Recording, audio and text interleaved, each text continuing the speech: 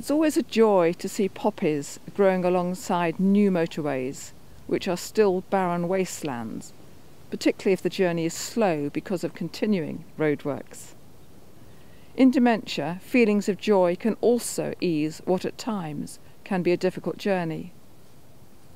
The reason feelings remain when facts are forgotten is because they're stored in different parts of the brain. The facts in the hippocampus and feelings in the amygdala. We've all had experiences in the past from situations that had consequences, which might have triggered fight or flight responses. We learnt from these events, and each new situation is compared to these past experiences and the response affected by the consequence, the feelings they caused, rather than just the events. When a group of people are asked to identify this white and yellow picture, usually someone immediately realizes it's part of a daisy, or someone suggested a daffodil. And their response leaves the others feeling silly, bewildered, left out, as they had not yet seen the bigger picture.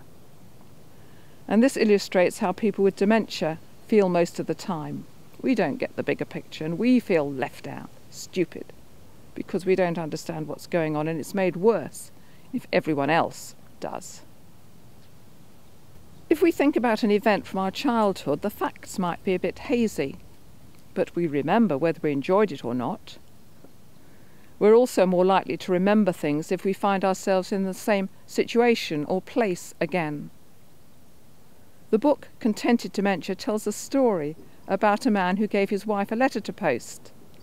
Later he asked her if she had posted it. She had forgotten all about it. He extracted it from her handbag and was not happy so she asked him if he had taken the dog for a walk. But it had died the week before. In her mind, that was the last time she had seen her husband not happy. She had forgotten the dog had died, but remembered the feeling. Something to do with the dog. So it made perfect sense to her to make a comment which her husband thought was completely ridiculous. We mirror the feelings of those around us. If we get agitated for any reason, and those around then also get agitated, we will get worse, even become frightened or aggressive. But if they are calm and reassuring, with smiles and encouragement, we'll often settle. If someone arrives late and distressed from a situation elsewhere, we will become upset.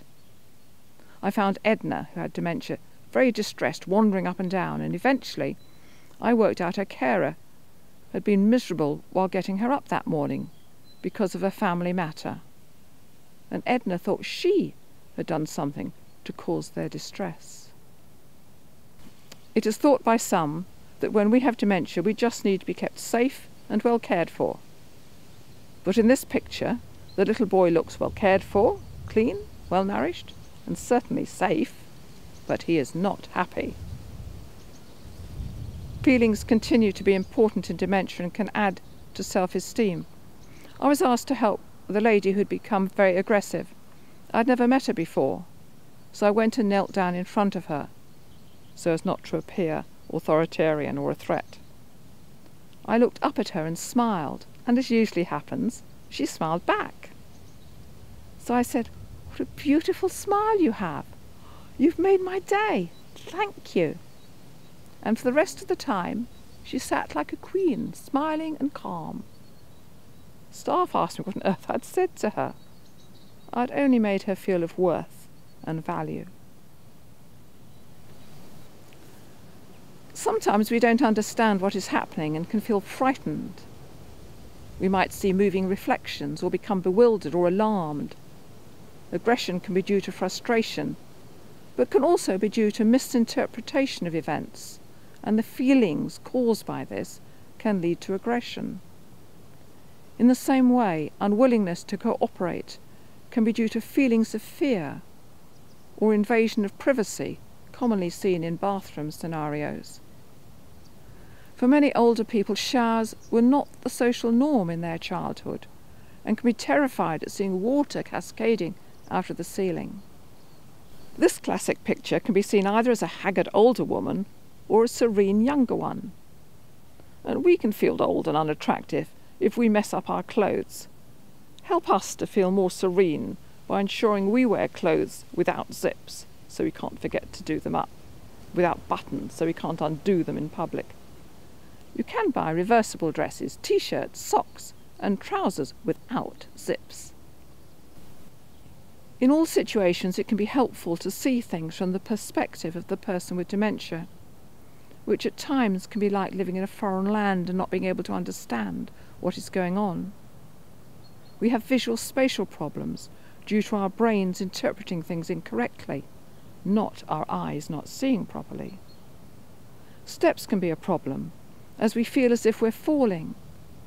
Stepping onto a carpet with a busy pattern can be a challenge, as it might look like a fish pond or a manhole to us and make us feel anxious. And this picture is a happy one because of the bright colours and the smile. So, what you wear and whether you smile can affect us. The feelings left behind after a visit are far more important than what you did or said or how long you stayed. Feelings remain when facts are forgotten.